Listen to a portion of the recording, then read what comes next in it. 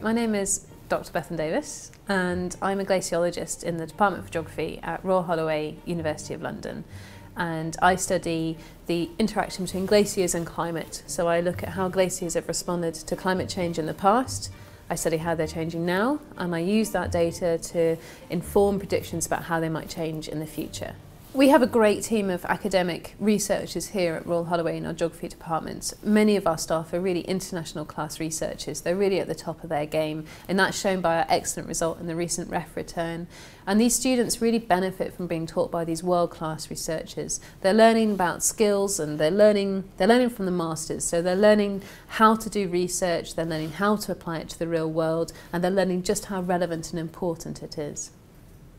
I always try and bring my research into my teaching. My students read articles that I've written and they work with data that I've produced in their practicals and I think that's that's quite helpful for the students. They can see that it's a real person doing the research and maybe they can think well maybe I could be like that as well. Maybe maybe it's aspirational for them too.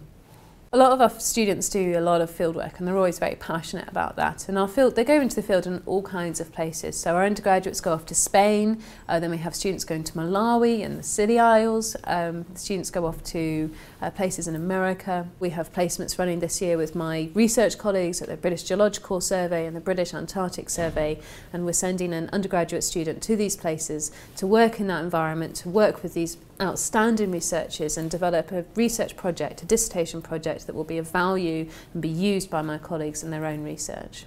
Our undergraduate students go on to do a whole variety of different careers. They learn uh, geography skills, give you quantitative, uh, numerate skills, and they're also literate. They write essays, so they're good at developing an argument and they're good at explaining uh, an idea. And that means they can go off into any number of graduate careers our staff are very collegiate, they're all approachable, they're all very, very friendly. And so our students really benefit from that because they can go and they can ask questions if they get confused or stuck.